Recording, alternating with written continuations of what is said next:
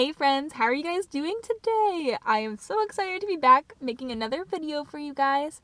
So, lately I have been looking over my Poshmark and seeing what pieces have been on there for a long time, and I've been seeing pieces that I am just so tired of sharing over and over because they're not worth very much. I have them up on my Poshmark for like 10 to 15 dollars. And so my takeaway from selling something like at that price point is usually like $5. So I decided to go through a lot of my Poshmark listings and just take them to a buy sell trade place. So I am here right now at this place called Uptown Cheapskate. It's like a Plato's Closet or whatever equivalent you have near you, like a Buffalo Exchange. And so they buy gently used clothes. So I have three bags of clothes that I'm going to take in to sell. So we've got three full bags back in the back seat to sell. And so I'm hoping to get around like $5 each for some of the pieces. This place is usually pretty good about buyouts. I'm going to sell a lot of my old merchandise. And then this is going to be kind of just a fun video. I don't know what I'm going to do with that money. I think that I'm going to try to reinvest it into some more pieces for my closet. So I'm going to look around Uptown Cheapskate and I also probably will go to a Goodwill afterwards. So let's see what the day holds. But so I'm gonna be taking all three of these bags full of things over to Uptown Cheapskate. Woo! A few moments later. So that was pretty successful. I took in three heaping bags of clothes.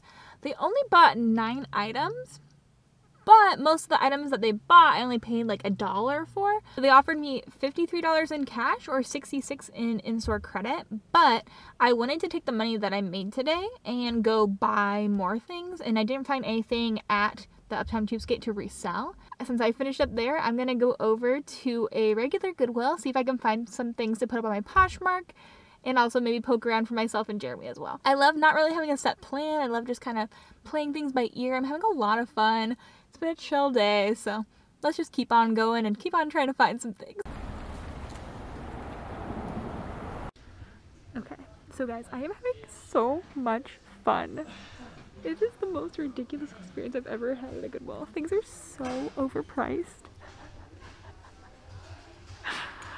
It's too funny. It's too funny. Everything, as long as it has a Target tag, is like 15 dollars. There's no place to film because this place is so busy. I swear, I was so confused. I was so confused and then I realized today's I realized today is October 30th.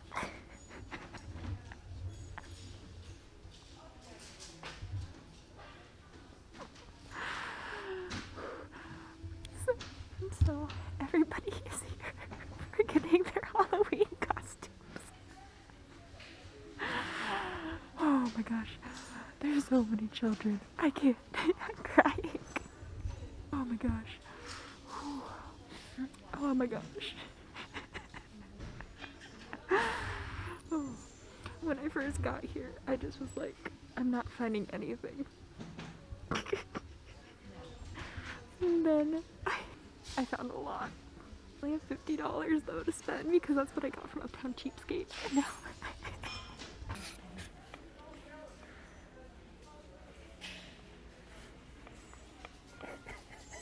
Okay, I just finished up. It's pretty dark out. I know this lighting is pretty terrible, but it's the best that we can do right now.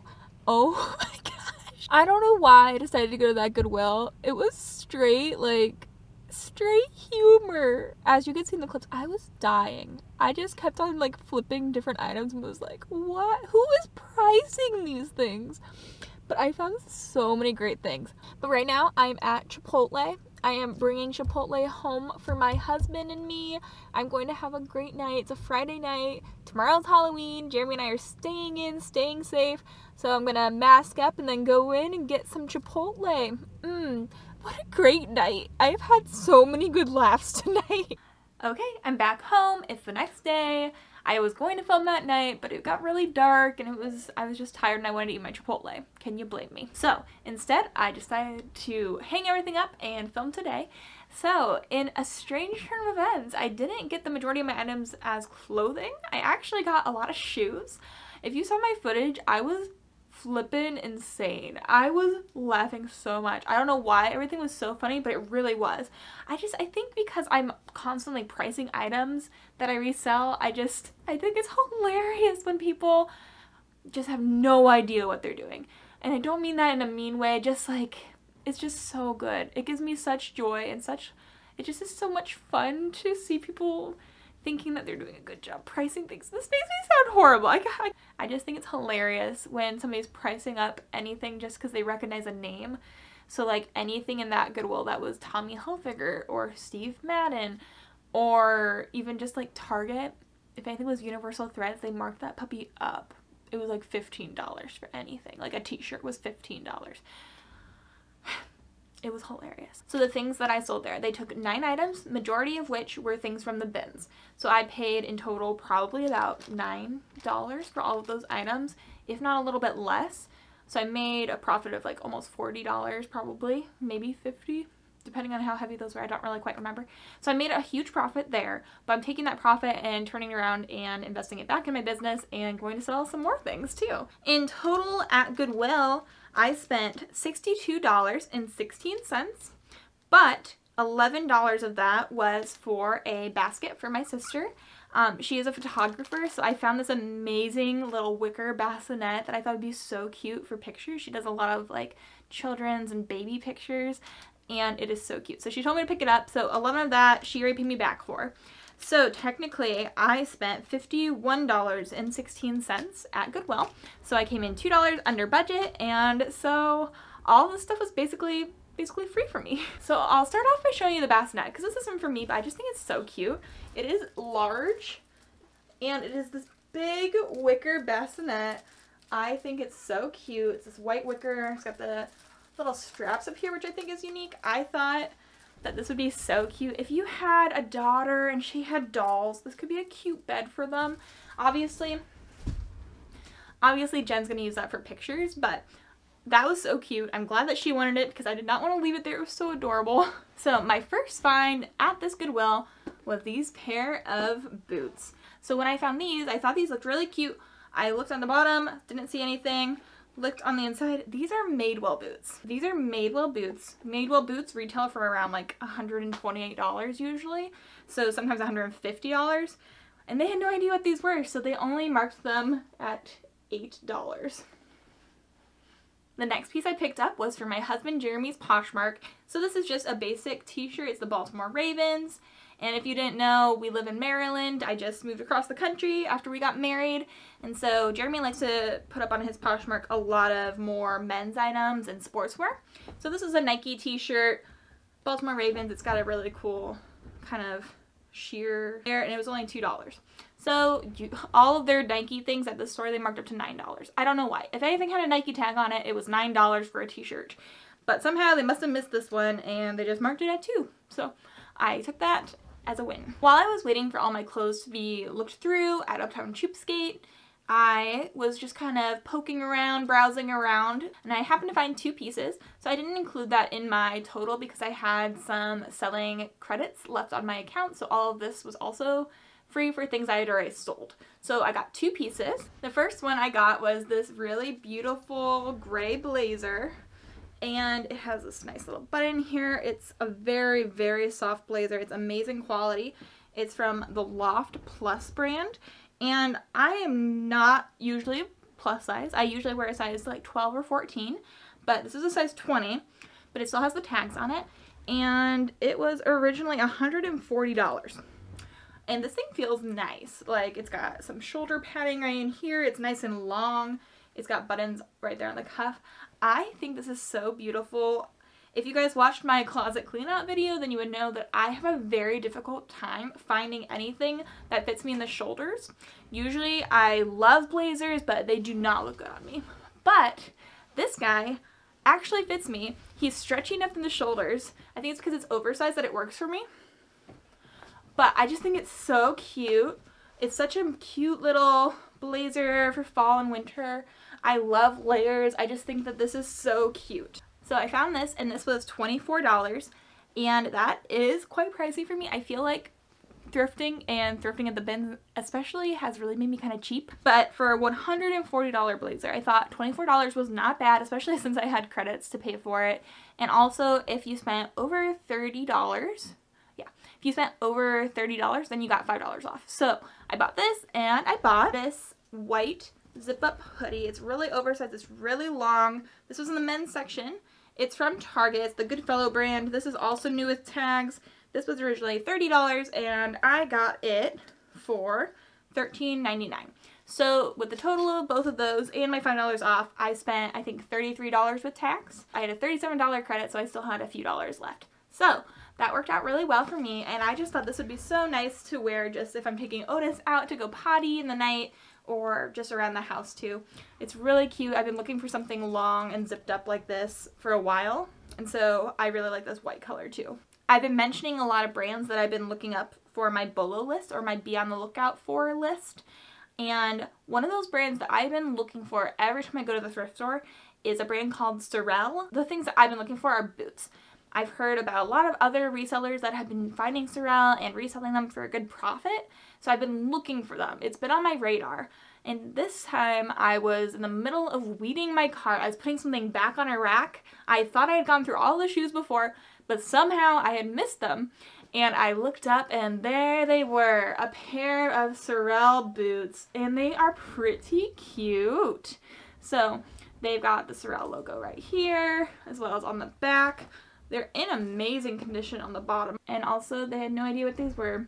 They marked them at $8. These puppies retail for, I think, over a 100 at least maybe over 150. Even if I sell these for 50 bucks on my Poshmark, I would be very happy with that. So I mentioned that I spent $62.16 and one of those items was the bassinet for my sister. But other than that, I bought three items of clothes, two homewares, two toys, and four pairs of shoes. The next piece of clothing I found was this really pretty wrap style skirt. It's in this beautiful polka dot print. And let's see if I can show you all this. It's gonna come off hard on the camera to show you. It's gonna be hard to show you on the camera, but it's got this like wrap over the front right there. And it's a little bit shorter in the front than it is in the back. It's in this really nice chiffon material. It's lined. There's the back of the skirt. And I had to look it up because I didn't know what this brand was, but I'm glad I did. It's by Marled Reunited Clothing and it's new with tags, which is what initially drew me to it, and the fact that it's a really cute style. And wrap styles are really trendy right now, and I like that it's a longer skirt as well, so you can transition that really well into fall and winter. But I looked this up, and I think that they work in collaboration with, oh dear, I forgot now. I can't remember if it was with Nordstrom or if it was with Saks Fifth Avenue, but whatever it was, I looked and a lot of their clothing retailed for well in the hundreds of dollars, and so I decided to buy this. And it was only $4.89. That Goodwill, man. They know what they're doing sometimes, but they also really, really don't. My last piece of clothing is this dress. It is the most exciting thing that I found. By far. But I don't want to show you yet. I'm going to save until the end. You'll have to wait in anticipation because it is so good. Next up, I found this pair of Nike sneakers. They've got kind of the high top design here. They're Nike Air Precision sneakers. These are ones that I sent a picture of to Jeremy because I didn't know if he would want them or not because they're men's shoes. They're a size 8.5 and I got them for $8. So I always like to pick up Nike shoes. They always sell really well on Poshmark. They're usually not up for very long before somebody snatches them up, and especially like a black and white style. This is really classic, and most everyone likes a black and white shoe. Some of the other styles where they have lots of colors, lots of designs, those ones are a little bit trickier to resell because you have to really like those kinds of styles to like that shoe. This, this is more classic, this is more plain, so these should sell pretty well. So the last pair of shoes are so cute. this is new for me. I have never looked in the children's section really at the thrift store. I don't have kids, I don't have any nephews or nieces, and I don't sell to the children's market. But these guys are so cute. I literally almost started crying. They were so cute. There was these, there was a little Adidas pair, there's another Nike pair, but each one was $5, which I mean, for shoes, I feel like it was a lot, especially for children's shoes. But I picked these up either with the hopes of saving them for my future child or I can resell them. I looked up comps for them on Poshmark. There's a pair that was exactly in this same style. It was just a size up or down, I don't remember which way, and they sold for $35. So my $5 could go a long way in that sort of way, but they're this cute little Max Air pair of Nike tennis shoes with little smiley faces. Oh my gosh, and their, their like mouths are the Nike swoosh.